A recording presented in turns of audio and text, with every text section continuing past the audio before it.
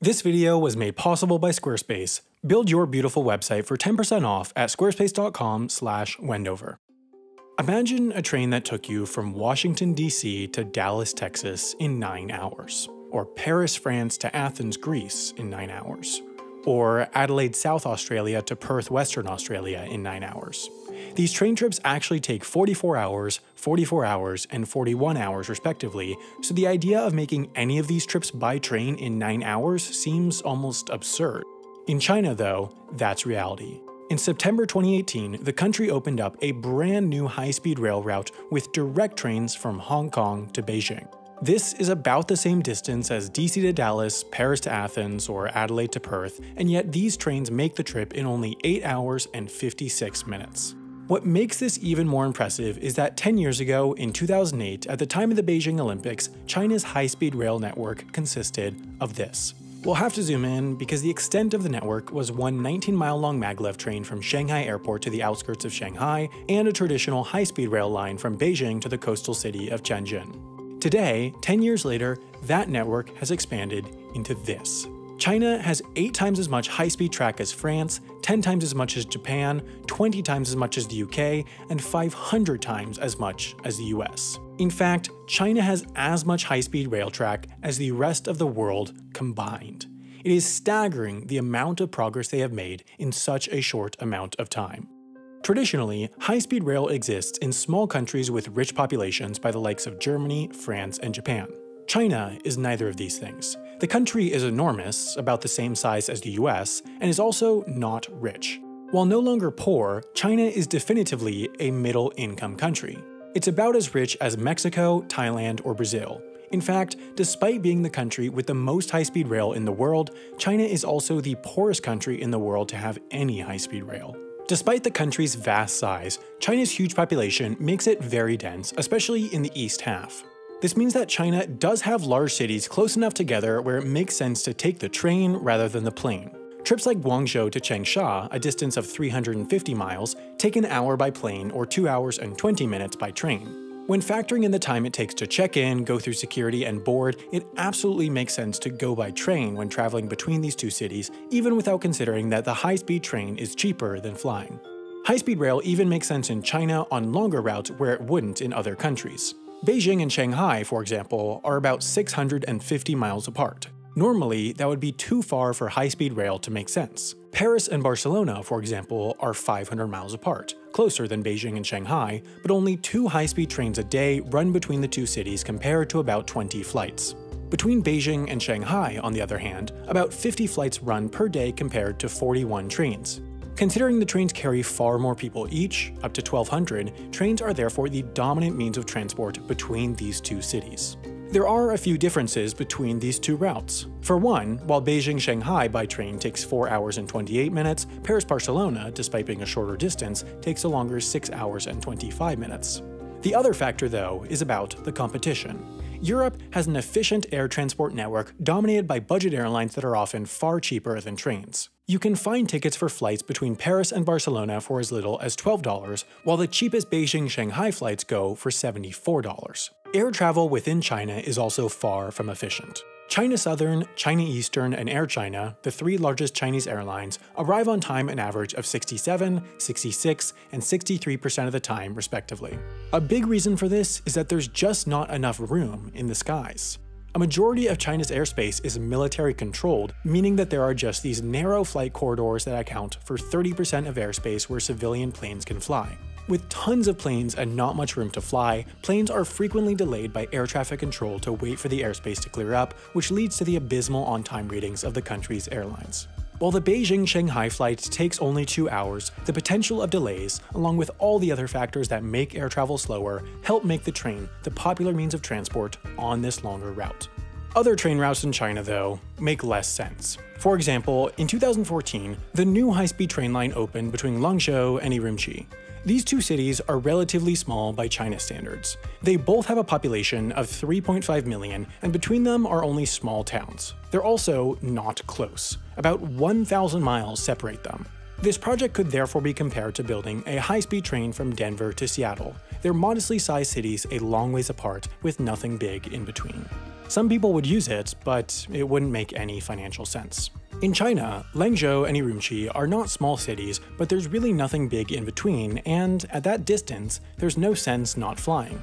The Lanzhou Urumqi high-speed train takes 11 hours compared to the 2.5 hour flight, and the construction cost of that line was $20 billion, meaning that if every seat on every train was filled, tickets would still have to cost $400 each way just to make back the construction cost in 30 years. In reality, tickets cost about $80 and trains are far from full, meaning that this rail line is just insanely far from profitable. The ticket revenues from these trains reportedly don't even cover the cost of electricity for the line, let alone construction and other operating costs. So why would the Chinese government sink so much money into something that has no prospects of really ever making money? Well, politics. Urumqi is the capital of the Xinjiang province. While 92% of China's population is Han Chinese, the Xinjiang province is primarily Uyghur, one of the minority ethnic groups of China, and there has been an ongoing, fairly strong separatist movement by the Uyghurs from China that has often turned violent. The central government in Beijing, however, wants the Xinjiang province to be just as integrated as the rest of the country, and has tried a variety of methods to force this, including moving Han Chinese into the region and the imprisonment of Uyghurs in so-called re-education camps. The high-speed train is just the most recent tactic to bring Xinjiang closer to Beijing, and this is no secret. The central government is fully upfront in saying that the line was built to promote, as they call it, ethnic unity. This isn't the first time that they've used this tactic of railroad politics. Tibet, a region even better known than Xinjiang for its independence movement, was the last region in China not to have a railway due to its small population and intense terrain. The central government still wanted to build one though, to bring it closer to the rest of the country, and so they did. Trains now run directly from Beijing to Lhasa, Tibet in 47 hours on the highest elevation rail line in the world. These trains reach an elevation of 16,640 feet, so high that passengers have to use direct oxygen supply. Even the train to Hong Kong serves the central government's goal of further integrating Hong Kong, which is an autonomous special administrative region, into mainland China. While high-speed trains to Hong Kong certainly do make a lot more sense than trains to the Xinjiang province, many Hong Kongers have not greeted the new service kindly, as they view it as an encroachment on the autonomy guaranteed to them by Hong Kong basic law. The most controversial part has not been the fact that there's a train, but rather that the station in Hong Kong includes an area that is effectively now part of mainland China since people pass through border controls before boarding the train in Hong Kong. Just like any country, what having a high-speed, efficient rail network in China is doing is bringing the country together and making it stronger even if it's bringing together people that want to stay apart. No matter their motives, it's clear that China is building their high-speed rail network more efficiently than any other country. To compare, this is the plan for California's high-speed rail line from San Francisco to the Los Angeles area. It's currently in very early phases of construction and is expected to open by 2029. Of course, that means that the time it will take for California's high-speed rail network to go from this to this is the same as the time it took China's high-speed rail network to go from this to this, but the main thing to look at is cost. This California network is expected to cost $77 billion and is 520 miles long, meaning that it will cost $148 million per mile to build. China, on the other hand, is building their network at a cost of only $30 million per mile. Of course, labor costs are lower in China and their network crosses more rural areas where land acquisition costs are lower, but what's more meaningful is that they've turned building high-speed rail into almost an assembly line process where they can mass produce even the most expensive elements like viaducts and tunnels. In true Chinese fashion, with scale, they're making high speed cheaper. The big difference between China and a lot of the Western world, particularly countries like the US, Canada, Australia, New Zealand, and the UK, is that high speed rail is at the top of the government's priorities. Unsurprisingly, given their government structure, in many ways, China has placed social benefit, at least by the definition of the central government, ahead of profitability when developing their high speed rail network. High-speed rail lines just aren't as profitable as other means of transport, like planes, but they are undoubtedly better for countries, so you have to consider the social benefit when looking at their overall profitability. For the San Francisco to LA high-speed rail route, for example, one study found that the social benefit derived from lower carbon emissions, higher worker productivity, and reduced casualties from fewer people on the road would be equivalent to about $440 million per year. As it turns out, this is almost the exact amount that the state will have to subsidize the line for it to break even. The China Railway Corporation, a state-owned enterprise, is actually slightly profitable, although it does have huge amounts of debts and is helped by government subsidies. The benefit to the Chinese people, though, is huge. The high speed rail allows those who can't afford to live in the most expensive cities like Beijing, Shanghai, and Guangzhou to easily commute from cheaper suburbs by high speed rail. Thanks to the high speed rail, there are now 75 million people who can commute to Shanghai in under an hour. It is growing what are already some of the largest cities, and when it comes to cities, size is strength. These lines connecting the East's largest cities are some of the most profitable rail lines in the world, and they're making living and working in China easier, but the question is, when we look back decades from now, whether the high-speed trains to smaller cities will have made sense. Out of a desire to keep the lines going straight between the big cities, the stops for smaller cities are often out in the countryside dozens of miles away from the city core.